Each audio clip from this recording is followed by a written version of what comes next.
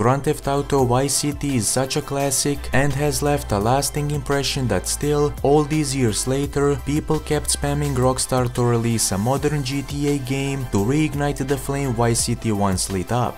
Clearly, the definitive edition of Vice City wasn't enough and now we know GTA 6 is that game everyone's been asking for.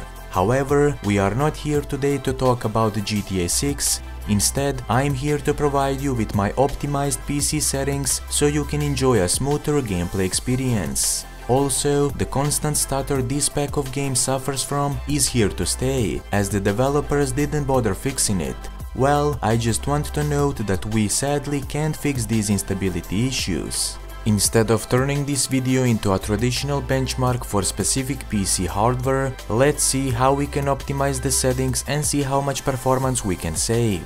Before we proceed with the optimization process, uh, download and install uh, LowSpecs Experience. The download link for LowSpecs Experience is available in the video description LowSpecs Experience is a PC video game optimization solution that I developed uh, that allows you to optimize your favorite PC games for maximum performance. So first of all, start the installation process for the LowSpecs Experience. Once the installation is complete, start it from the newly created desktop shortcut.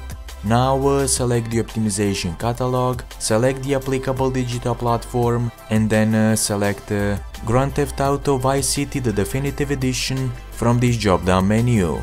Once done, uh, press the load the optimization package. LowSpecs Experience will automatically detect a supported game version on your system. Now press OK and the optimization control panel will load. Once the optimization control panel has loaded, select the desired optimization presets and the rendering resolution for the game. Feel free to experiment with the optimization presets and rendering resolution to see what works best for your system.